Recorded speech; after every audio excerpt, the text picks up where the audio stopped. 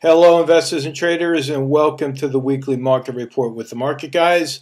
I'm AJ Monte. This is a one year daily candle chart of the Dow Jones Industrial Average ETF, ticker symbol DIA. And as I do each and every week, I've left my lines on the chart from last week's market report so you can see just how accurate candle charts are when used as a forecasting tool. And right here, you can see this is the diagonal line that I drew with the end of that line being the target. And right here on Wednesday, that's the 27th, because remember, Thanksgiving holiday, the markets were closed, so we had a shortened trading week. And Wednesday, we hit my target precisely. And Friday, as I record this, the day after Thanksgiving, the markets closed early at 1 p.m.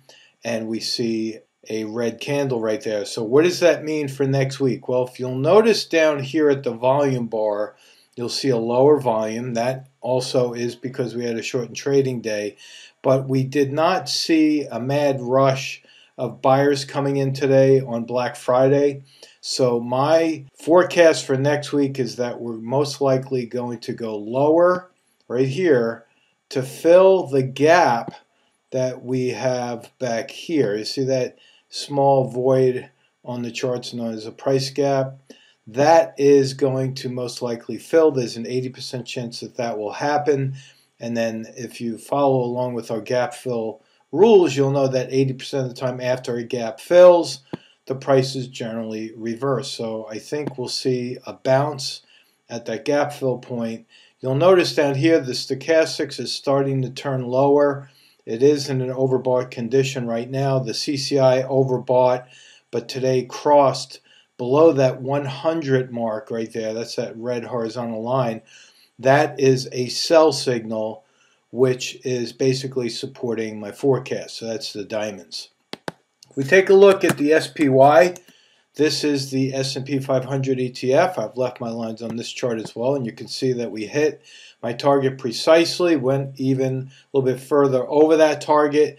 Same scenario, we have a red candle here on lower volume. Stochastics are turning. CCI is turning, but not quite at a sell signal.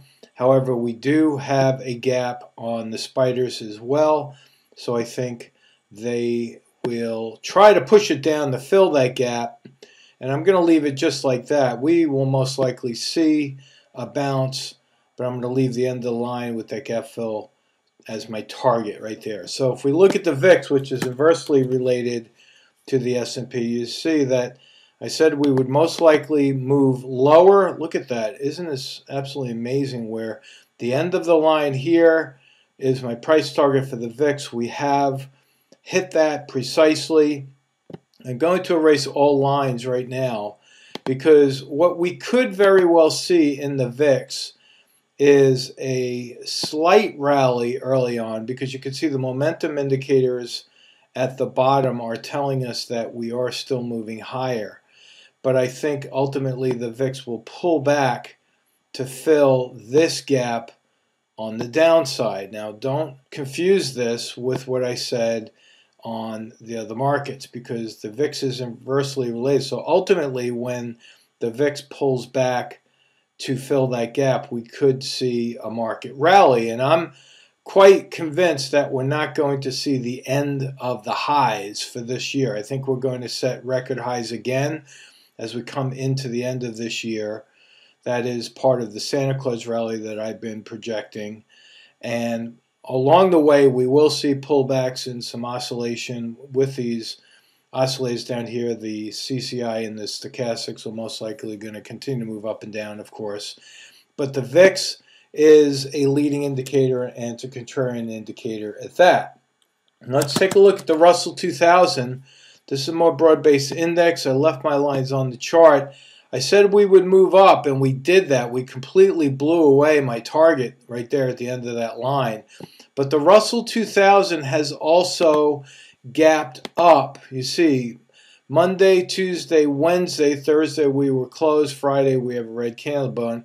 On Monday we gapped up. So we have an open gap on the VIX. I think the VIX is going to pull back initially to fill that gap. We'll have to see whether or not we see a rally after that. I think we will, but I don't want to get ahead of ourselves. It's a more broad-based index. And unlike the Dow and the S&P, this carries a lot more weight. You can see the stochastics is hinging lower. The CCI is moving lower, not quite as sell signal, but close.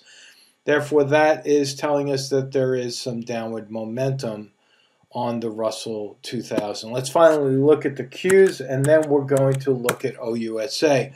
The Qs is basically the ETF for the NASDAQ market, the tech sector. Look at that, hit the targets precisely. Hinging, same story over and over. The oscillators are heading lower and we have a very minor gap below the market right there, which I'm going to set as my price target for the Qs. I think we'll continue to hold these lows here because that support level, that gap fill support, will most likely cause the markets to bounce and then go into the rest of our year end rally.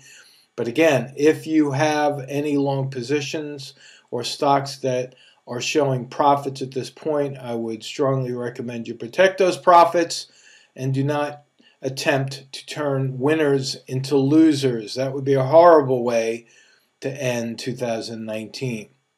Finally, OUSA this is the ETF that I've been tracking. It's a high yield dividend fund put together by Kevin O'Leary. I said I would track it because it gives a good cross section of the general markets. We have a bearish engulfing pattern here. We did not hit my target precisely, but came very close. Oscillators are hinging lower. CCI is crossing with a sell signal, and we do have a gap below the market on OUSA as well. Let me highlight that for you right there. There's the horizontal line. I'm going to mark that as my price target, and then I think we'll start to see a bounce on OUSA as well. So that's it for this week's market report. I hope you enjoyed. It. I hope you see value in it. Please tell your friends about it. The more people that follow technical analysis, the more people we help and that is the greatest tool for managing risk is the candle charts, and that's my opinion. But the people that are out there that want me to forecast the markets over and over again, while I will do that, I will also stress the importance of managing risk in this market because we are seeing quite a high level of volatility, and you don't want to lose any of those profits, like I said before we want to protect them. So you have a good rest of the weekend, and we'll talk to you soon. So long. This video segment is a small part of what the Market Guys offer through their educational products and services. If you are interested in any of our Trade Alert services, or you would like more information about our one-on-one mentoring program, simply contact us at info at themarketguys.com.